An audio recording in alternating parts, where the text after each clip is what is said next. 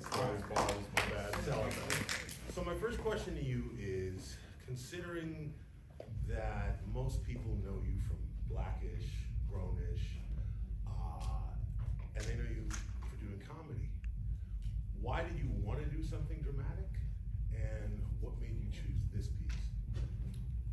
Huh. Um, well, I was fortunate enough to get approached with the script from Simon Story, who's our director and writer. Um, and he had already created a short. And so I had the opportunity to watch the short and I kind of fell in love with it. I was like, let's make this. We have to make this. And so I hounded him every week until he gave me a producer credit. Um, and then we finally started getting it rolling. Um, we fundraised. We, we made this on a shoestring budget. It was around 750, which is really small for a, a, a film. So I'm very, very, very happy with the way that it turned out. Simon's a genius when it comes to editing. We cut it together, we did the whole thing. Um, and yeah, I think I just resonated with, with Daniel. I was I've been doing a lot of work with the National Foster Youth Institute, um, and foster youth is kind of something uh, that I don't know. I, I never gave much thought to, which sounds horrible, but um, it wasn't something that I often thought about. Uh, and talking to a lot of- Seems like we got a mic in the room. Where is that? Can we bring it over here? No, it's okay. Um, but after talking to a lot of foster youth, I, I kind of got inspired and I was like, okay, I have a project. Who the hell was that? That was to wake up the people who fell asleep. but um, I kind of got inspired after talking to a lot of the foster youth in, uh, in the program um, to to play this role, and I just thought Daniel. Um, I, I don't know. I loved the uh, unapologetic love that the two brothers show each other. I don't think there's often times in film, you know, there's a lot of uh, machismo um, around brotherhood, and I just love that they were just unabashedly there for each other. Um, I love that Daniel fully invested himself um, into the caregiver role, and I also love that he didn't handle it with kid gloves. He's like, "This is still my brother. Like, I'm gonna get pissed when he does something fucking stupid." Um, I don't know if I'm allowed to curse during the Q&A. No, you can't. It's our Q and A. We do whatever we want. Right? um, but yeah, I just I loved. Um, it just felt authentic to me, um, and the script spoke to me. Simon, I, I loved his approach and his vision, um, and I mean his music taste was on fire. So I was like, all right, this is gonna be splendid. All right, all right. I have to ask you a question. I, I asked this question of Ice Cube once. Uh, why do you think that a comedic actor can make the transition to dramatic and kill it, maybe win an Oscar, but it's a lot harder for a dramatic actor to be funny? Because correct me here, you all were moved by his performance, right? Just as much as he's made you laugh, he Can't hear you. I said you were moved by his performance just Yes. as much as he's made you laugh. He made you feel something. So my question to him is, why do you think comedic actors are able to go from comedy to drama, maybe win an Oscar, but a dramatic actor often is not that funny? Uh, wow. Um, I don't know. That's a big question. I feel like um, when it comes to comedy versus drama, all that kind of stuff, um, I feel like at the end of the day, it's all acting. It just um, you get the material, you digest it, you kind of just approach it. I mean, it's all it's like trying to solve a puzzle. Like you're trying to, and you have a partner. You have somebody else who's working on that puzzle with you. Um, so I think the transition for you know just happens naturally. I would say. I think uh, you should be uh, approaching every single piece that you look at. Um, I wouldn't say through the same lens, but approach it to kind of solve the problem and figure out what you want from the scene, what your your character wants. Um, there we go. Thank you. Oh my God. Wow, Are there two? Yeah. Can you get it down loud, please? Thank you, thank you. No problem, no problem. Um, yeah.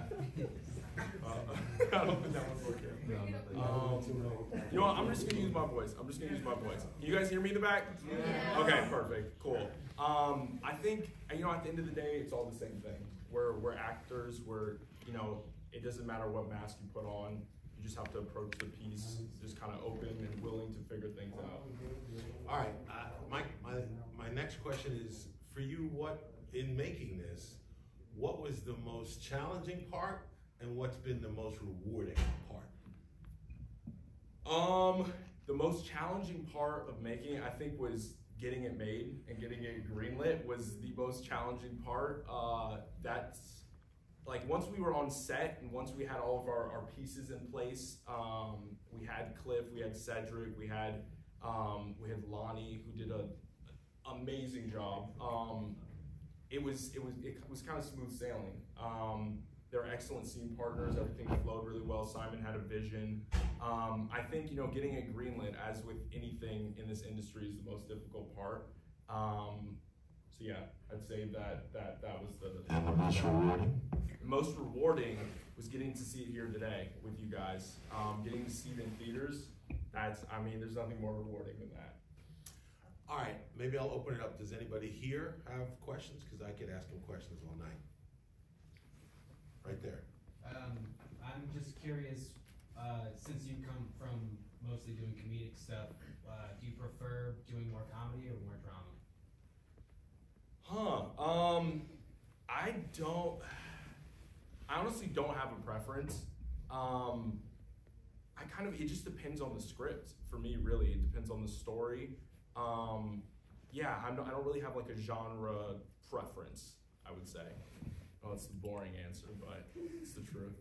All right, I have a question for you. Uh, jumping off of what he said, to me, uh, I think your, as you define your art, your art defines you.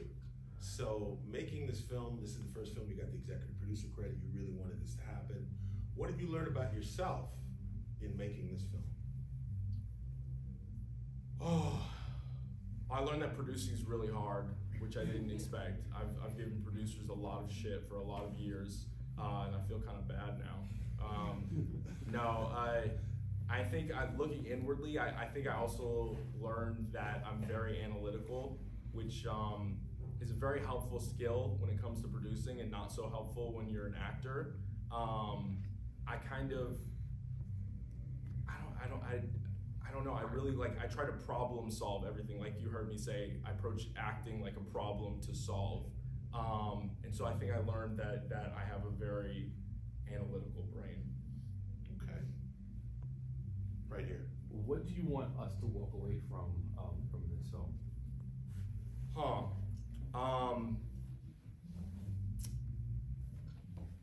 I think I want everyone to walk away from how I learned to fly with the feeling that no matter how hopeless and dire your situation is,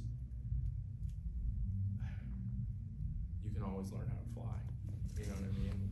Daniel escaped in his mind to his, you know, his fly escape or whatever. That's what I called it in my head. And don't know that you can you can dream. You know what I mean? To be not where you are because I mean you you could not be in as dire of a situation as Daniel or Eli, but we all face challenges each and every day. Um, and you know it's being able to overcome those with mental fortitude that um, kind of creates a better future for yourself. So I think you know being able to weather the storm is very important, and that's kind of what I got from the film and what I took from the film. And and you know wherever you place your mindset, that's where you're gonna go. So Right here. And then you. Well, first, congrats on the film. Thank you. Super exciting. Um, what was your casting process for the actors, um, from like the guidance counselor to Eli, and how involved were you? Um, I honestly was not super involved with casting except for our main cast members.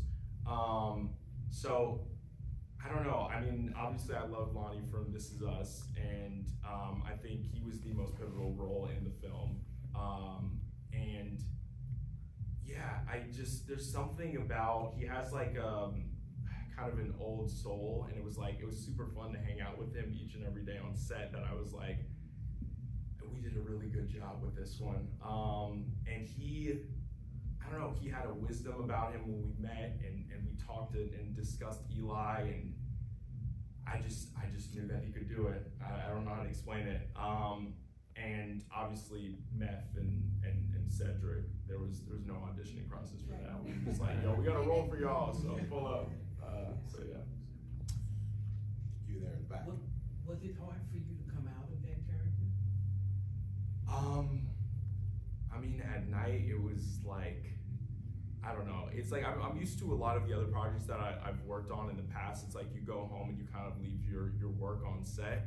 Um, and this character, I was just so emotionally exhausted each and every day. It was like, damn, can anything work out for them? Um, and yeah, it just it was definitely i mean after we we wrapped i was like shit i'm out of here y'all. I'm headed to, to mexico for a little vacation. Um, so after that it was definitely easy to step out. But um, every night going home was it was definitely a, a challenge. Even watching it right now i had to sometimes put my hat down because i was like damn this is some trauma bonding type shit. Um, so yeah it was hard.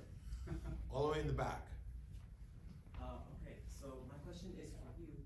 Um, what was one of the most happiest moments of filming this film? As we see, it's summer mostly, but I Mhm. want to know, like, what was happiest for you to film this? happiest? I like that question because what I like about our movie so much is that while they get kicked so much while they're down, um, there are moments of triumph and they do finally succeed in the end. It's a very classic tale, but um, I feel like it's just there's a light at the end of the tunnel. You know, there's a lot of bad shit happening to us, and it's always nice to have something to look forward to. And so the happiest moment, um, hmm, I don't know. I love filming all the laundromat scenes.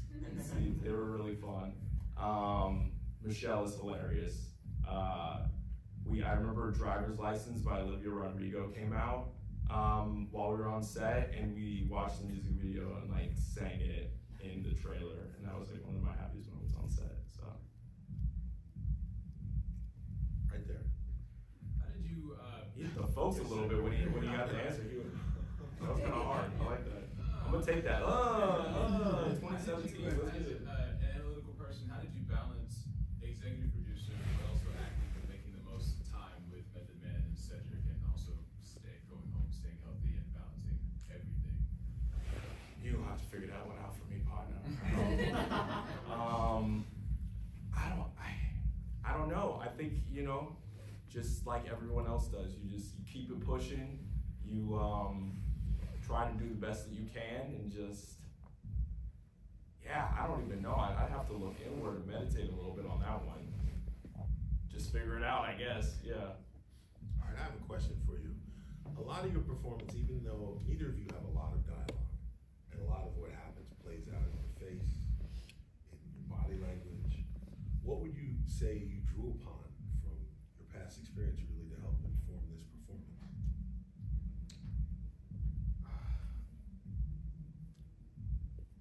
I feel like, I mean, I, I don't know, we've all had those difficult um, moments when it comes to familial relations. Um, and I, I kind of try to draw upon those. Um, I don't know, once I, once I was in it, um, I kind of started to, to feel what Daniel was feeling in a weird way. And I don't know. I just I, felt like I was Daniel. I kind of just like pulled on his experience and what was happening, um, and I think a lot of that has to do with you know our our other actors who were in the film, Method Man, Cedric, Lonnie. Everybody did such a fantastic job that it kind of placed me right where I was supposed to be. Um, so I feel like I was drawing off their energy. They were feeding off of my energy. Um, yeah, it's just a really fucked up situation. You know what I mean? So I just, you know, I thought about where Daniel would be in those moments and in that headspace, um, and seeing Eli struggle with what he had to go through with, you know, all of his traumas related to losing their family. And I just, I kind of pulled on that stuff. Um, yeah. question? Okay, right there at the back, and then you. Um, what was the biggest thing you learned, like either as an actor or your first time being an executive producer, like over the course of this project? If you could take away like one thing, what would you say? get out of your head. Um, I think that's I like I said, I'm very analytical. I tend to overthink everything. Um, and I think just leaping into things, like taking that first step is the most important step. Um, and continuing to take those steps and moving towards your goal. That's from the producer side. I think from the actor side, also get out of your head. Um, and just, you know, just live and breathe and um, be present. I think just be in that moment, which is like, you know, the most tried and true advice, but just being present and being in the moment is the most important thing we can do as actors and to just truly listen to somebody, um, which I think is a very valuable skill in life, but also very important in acting. So, Yeah, mine's is more of a comment. Yeah. Because watching you from Blackish up until this point, I've seen how you've grown. And just, I mean, beautiful job. thank you. I just also wanted to kind of get, in, you know, a sense of like where, where your head was in this movie. Do you tend to like, like being, uh, being the character? Do you find that it stays with you sometimes, even after this is all over? Um, I don't. I, I feel like whenever you you perform or you're or, or you're becoming a character, you always have to bring a little piece of yourself to that character, and I think that's very important. And also as actors, we try to you know be chameleons and and change.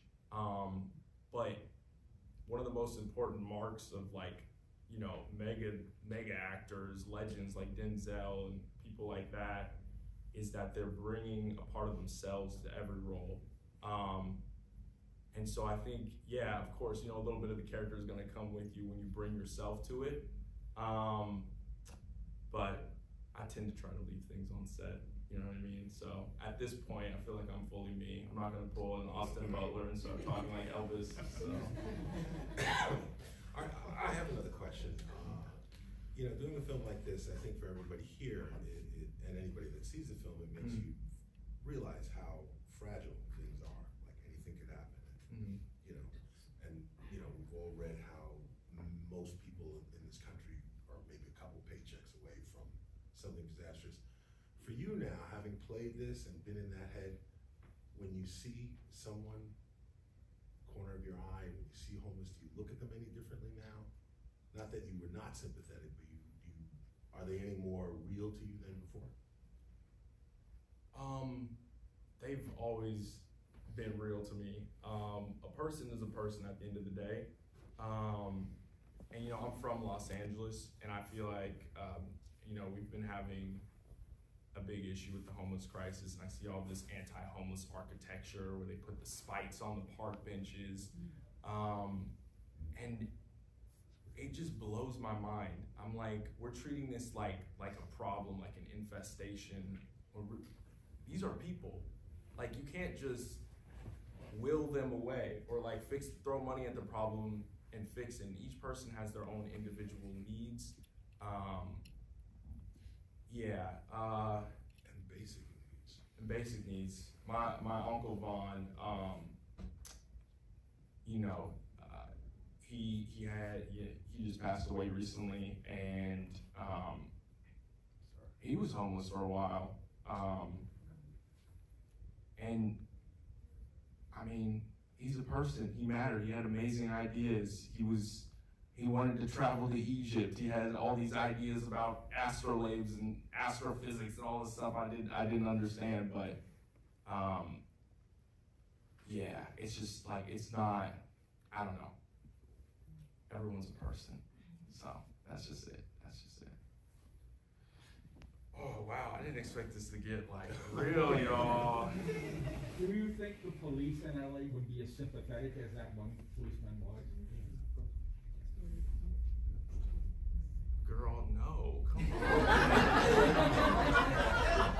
So it wasn't realistic in that, that aspect, right? I see what you're saying. Um, I don't know. Like I said, people are people. You know, there are individuals who are officers who might, you know, be as nice as that officer was in our film. Yeah. Um, but yeah, maybe it wasn't a completely accurate portrayal. I'll give you that. Hi, first of all, that was really good, thank you. Thank Um, you. so I just have questions, I kind of just want like the tea. Mhm. So did you, what did you take from set, anything that you liked, that you got to keep from set? A toothbrush? Okay, yeah. I know every time I looked up, I was like, this man is about his hygiene.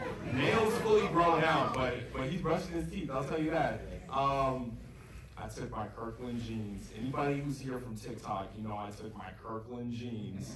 Uh, shout out Costco. This is not an advertisement again. Um, but the jeans I was wearing in the movie, they fit me unbelievable. So I took them. So that was, that was the, the, the perks of you know being on set. Shout out executive producing. Executive producer, you know. Yeah, exactly. I was like, let me let me just swipe those real quick. Right here. And then, Hey, um, I just want to say I love the bond that you guys have like, between you and your brother, because like we don't see very many black men on screen doing that. I love that. I don't know. That was the thing I love about the movie. Like as I kept seeing you struggle with him, like your brother, you're trying to like communicate with him, but it's like I don't know. You still had that love Mm. that you translated to the screen, like let us see it. But that wasn't my question. um, I just wanted to say that was really good. Um, but the scene in where the brother gets drunk and he comes back and there's like writing on the wall. So on the ceiling, was that done? Was that supposed to have happened before he got drunk, or was that a result of him getting drunk? And so you were like, okay, hey, we need to lay out some ground rules because you've been acting little this alcohol.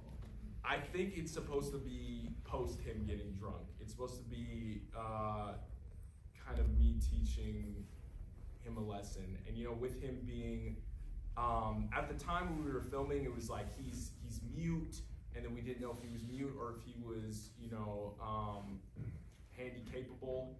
Um, so we were trying to figure that out, and I think uh, our be- my best means of communication was writing on the ceiling. I thought that was the easiest way to get through to him, and I thought it was you know very brotherly. It's like he's not gonna figure this shit out. Let me just literally write this shit out on the ceiling for him. Like you need no, we do not you know disobey the rules and all that kind of stuff. Um, so yeah, I think it was in response to the party and the alcohol and you know him throwing up and me having to wash him.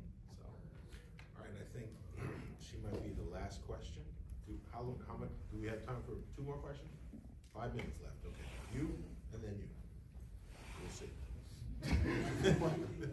Um, yeah, so, uh, I wanted to just say it was such a moving, beautiful film. Um, I'm so moved by like the Thank you. generosity of all the people in the film that came to help the boys. Um, and I know that like, uh, you mentioned being friends with a lot of the actors and, uh, really getting to bond with the actors. So on a, pre- on a lighter note, um, were there any funny moments on set? I mean, because it was such a serious film, I don't expect a blooper reel or anything, but were there, were there any funny moments? Um, there was definitely some pretty funny moments in the in the scene that I have with uh, with uh, Method in the the kitchen when I like started crying. The first take that we had, I blew the biggest snot bubble you've Oh, ever no. seen in your life. And we were like in this terrifying moment, and like we both just busted out laughing. Um, so that's a good one I have from set. Me and Lonnie filmed this hilarious TikTok, and like you wouldn't get it unless you were there, but just know it was really funny. That's it. You did a wonderful job, I loved it, it was beautiful. Um, my question was, out of all the characters that were in the film, because you read through the entire script, even though you're focusing on your role, um, because of your producer role, you understand, um, the gravity that each character plays in the film. My question is, where did you see the most emotional intelligence or growth from you personally as an actor from a character?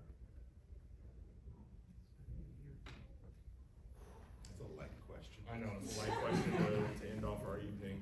Um, but a really good question. Um, Can you repeat the question? Oh, where did you can't hear. basically see the most emotional intelligence? Like, which character gave him the most um, introspection, I guess, towards who we, how can he can grow as an actor? Um, I think, Uh, probably Eli. I don't know. There was so much that Lonnie did without uh, saying anything that I felt like was so valuable to me as an actor. Um, and being able to watch him, I was I was learning. I was like taking notes. I was like, go off, little bro. Um, so yeah, I think watching Eli's performance was my biggest learning lesson. All right, well, I think we should give a large round of applause.